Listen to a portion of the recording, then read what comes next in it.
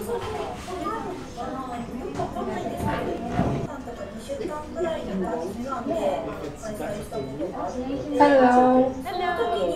Good, good. Good, good. Good. Good. ありがたいシステム類が違いまして、5メートルとか10メートルあるのが私の場合だったあれここら辺の軽トラとかも品川ナンバーが走ってるんですあの、社会貢献というか、生きているからには、その、働くことによって社会に何かを還元したいって、やっぱり人間思うので、と、よっぽど何かに触れて、その社会の歯車になれる方が幸せだと僕は思います。あのね、あのロボットが、ご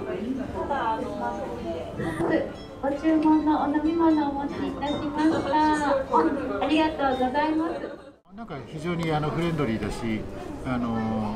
やっぱりご自身がなかなかその外に働きに出られないということをえーおっしゃっていて、まあ、そういう方があのこういう機会もというのは非常にいいなと思います。はい、ホットのコーヒーを2つ。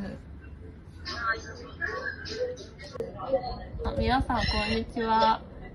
カリフォルパイロットのふーちゃんと言います。そうそうそう、先生言ってましたしね、あと練馬の家にもよくね、あの行ってたので、意外と、そうそうそう。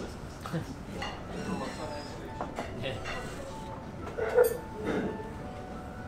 その人が社会に参加できるということを考えている場ですので、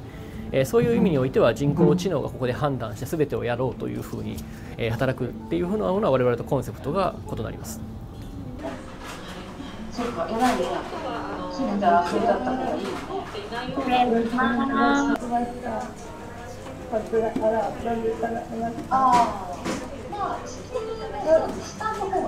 地球とか日本から見て、